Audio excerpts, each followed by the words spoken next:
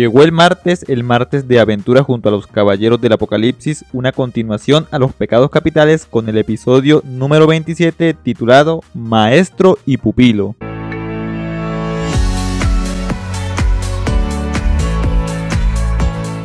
Recordemos que en el capítulo pasado, Hauser y Donnie cruzan unas palabras donde este le da tremenda piña por llevar irresponsablemente la llave del cofre de la oscuridad. Percival y Anne ganan mucho dinero y fama en el Coliseo, que les es arrebatado por Hauser estando borracho, pero Naciens lo reta a un juego de bebida donde relata muy precisamente la misión del capitán de los caballeros sacros en Kant, pero lo hace tan tarde que no se da cuenta que todo el pueblo son bandidos dirigidos por el discípulo rebelde de Hauser, Edlin. El capítulo comienza con Hauser y Naciens que aún están conscientes siendo rodeados por una gran cantidad de ladrones dentro de la taberna, la caída del gigante. Estos tipos están muy alegres porque creen que ya son victoriosos al ser muchos. Hauser que está bastante ebrio, que tiene más alcohol en la sangre que la misma sangre, menciona que había escuchado rumores de pandillas que asaltaban en los alrededores de Cannes. Nunca se imaginó que su base fuera Cannes disfrazados de locales para robarles todo a los caballeros mientras duermen o están ebrios, a lo que un cabeza de bombillo, muy cerca de Etlin, responde que de esa forma desarman a los caballeros sacros antes de que puedan luchar, y el bigotón al otro lado agrega que ya les han robado sus armas y caballos mientras se distraían bebiendo. Palabras de cobardes no atemorizan a Hauser, el cual se pone en pie y grita a doble pulmón. Piensa que llevándose mis armas es suficiente para detenerme pardillos, lo que asusta a la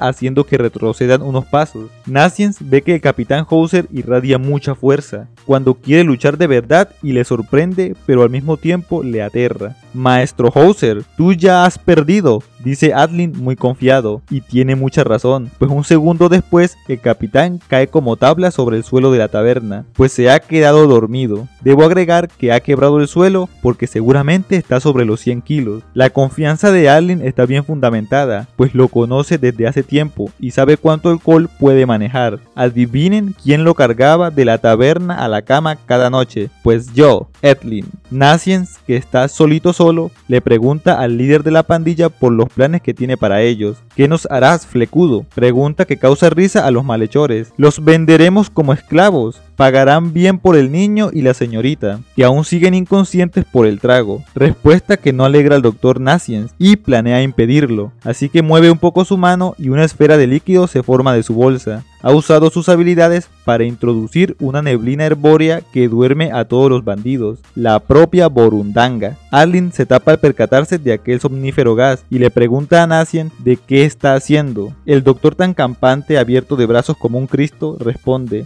lluvia neblinosa, la dormición. Adlin, que es muy listo, no calculó que él pudiera usar magia, ya que parece un simplón bien vestido, y en ningún momento deja de cubrirse la nariz por si acaso, momento que Nacian aprovecha para ir por sus amigos y sacarlos de allí. Destaco que Nacian soporta muy bien la neblina herbórea a pesar de no cubrirse la nariz.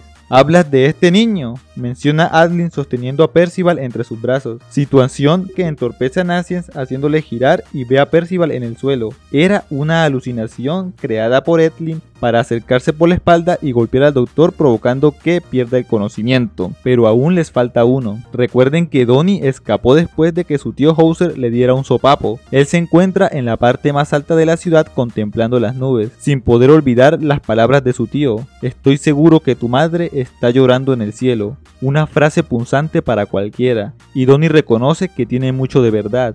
Él es un fracasado. En ese momento, Edlin llega con un sonsonete de amigo y lo saluda calurosamente. Amigo Donny, tiempo sin verte. Qué bien te queda esa raspadura en la frente. Te vi en la taberna con un grupo de cómicos muy divertidos ellos, lo que alegra en cierta medida a Donny y le pregunta por el entrenamiento con su tío. De seguro ya eres un caballero sacro. Edlin responde que no. Él cortó lazos con Hauser hace tiempo ya, que es muy parecido a Donny en ese aspecto y prefirió abandonar ese sueño. Esto desconcierta al pelirrojo Donny y además el descarado de Edlin lo invita a hacer equipo con él. Es más fácil, más lucrativo y te da mucha libertad, pero no lo convence. Esas no son palabras de un prospecto caballero sacro. Ellos no se motivan por las monedas o el oro. ¿A quién le importa los caballeros sacros? Y luego Edlin dice parte de la verdad. Solo ven conmigo y establece un local aquí. Roba y desvalija a los incautos que lleguen. Es increíble las ganancias que vas a conseguir. Pero Edlin, si haces eso, los caballeros sacros pondrán un ojo sobre ti y te arrestarán.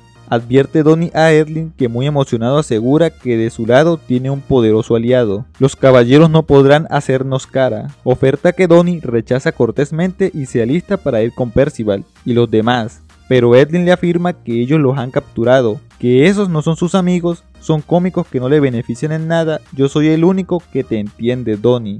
Aquí vemos cómo Donnie saca su lado masculino a relucir y advierte al flecudo que si les hace algo a sus camaradas, él no se quedará sentado. Y con estas palabras logra intranquilizar a Edlin, el cual lleva dos dedos a su boca y da un silbido en forma de señal. Algo se acerca, y es enorme, pues su sombra cubre Khan y el pobre Donnie queda petrificado de la sorpresa. Este es mi destino, Donnie, asegura Edlin. Ya en los calabozos arrojan a todos los capturados, que despiertan del golpe preguntando adormilados la situación. Y Hauser que está más ido que los papás del chavo. Sus apresadores les arrebatan el dinero y la llave verde que no saben qué es, así que piensan que es basura y se la tiran a Percival por la cabeza. Grandioso, dice Naciens. Ahora debemos rezar para que Donnie nos rescate. Pero Hauser, que en ese momento recobra el conocimiento, dice que es imposible porque él es un cobarde. Solamente piensa en sí mismo. En ese instante un hombre que se ocultaba aparece, un gigantón. Es el tabernero y viene a liberarlos. ¿Pero por qué? Y Hauser parece reconocerlo. Resulta que es Taisou, del festival de lucha, el que Hauser derrotó fácilmente. Pero qué viejo estás, dice el capitán burlándose de él muy alegre. Deja las bromas, Hauser. Debemos apresurarnos, pues la ciudad será completamente arrasada por un dragón antiguo que Edlin domó. Eso es un problema porque él cree que son aliados, y ese dragón no seguirá en el acuerdo con Edlin desde hoy dejando en entredicho que el dragón los traicionará y acabará con todos. Ya saben, ellos son temperamentales. Y así termina este espectacular episodio, espero que lo hayas gozado como yo, suscríbete al canal y comenta que nos depara el futuro, caballero sacro de Lionés. Hasta la próxima, chao chao.